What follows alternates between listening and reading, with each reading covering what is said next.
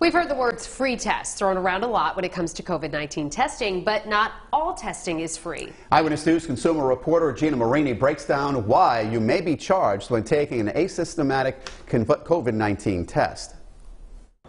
When it comes to COVID-19 asymptomatic testing, it's either covered by your insurance or you have to pay for it out of pocket, and it depends on where you have it done. Cindy McLaughlin said when her husband went to take an asymptomatic test at Carewell Urgent Care of Rhode Island in Warwick, he had to pay $160 to have the test taken. I think that they are taking advantage of people. We wanted to know why you would need to pay for an asymptomatic test but not have to pay for a test if you show symptoms when taken at a private health care facility.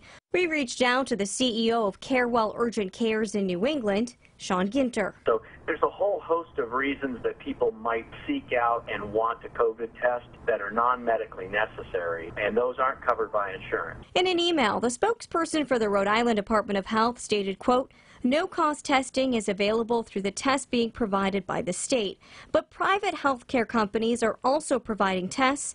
They are charging for those tests in many instances. That fee covers the, the tests, the labor, the PPE that's required, all of the facility fees, the insurance, the electronic medical record costs. A spokesperson for Rhode Island's Health Insurance Commissioner in an email says anyone who's been in contact with someone who's tested positive should call their doctor. The physician, quote, employs their judgment to determine medical appropriateness and can order the test if needed.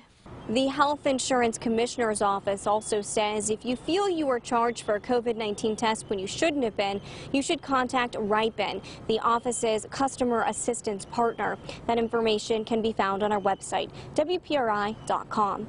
Gina Marini, Eyewitness News.